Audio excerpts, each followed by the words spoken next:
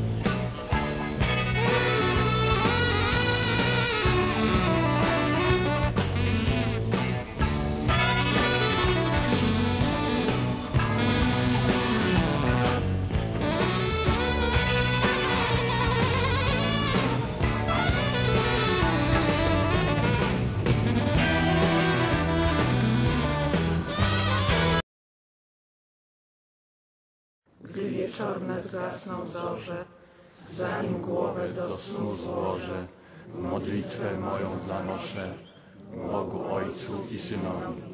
Dopierdolcie sąsiadowi. Dla siebie o nic nie wnoszę. tylko mu dostajcie proszę.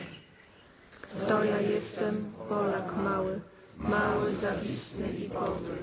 Jaki znak mój krwawe gały. Oto znoszę swoje modły do Boga Marii i Syna. Zniszczcie tego skurwysyna, mego rodaka, sąsiada, tego wroga, tego gada.